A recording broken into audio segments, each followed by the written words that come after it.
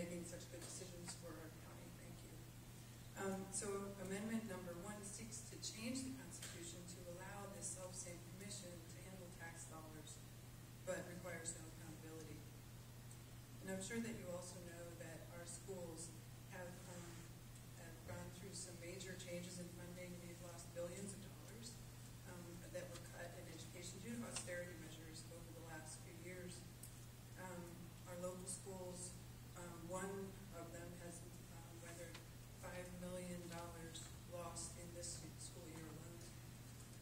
teachers do more with less.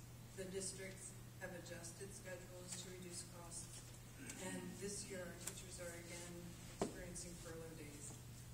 Um, amendment number one, if ratified, would not alleviate the situation. As a matter of fact, um, the Charter School Commission would take more tax dollars from our students and our schools.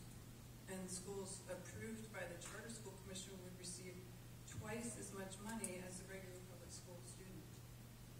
Since education is paid for out of a single education fund, that means that monies for these special charter school students would come out of the same funds that our, our students are um, being educated in. So if you take a piece of pie and you have a party for eight, and everybody usually has um, two pieces, um, you buy two pies, and now one pie goes to some kids and the rest have to live with the other pie. And that's just not fair. So, um, when you come talking about um, my kids in the schools, and you're going to take their money ship it to somebody else's family, I, I, that doesn't.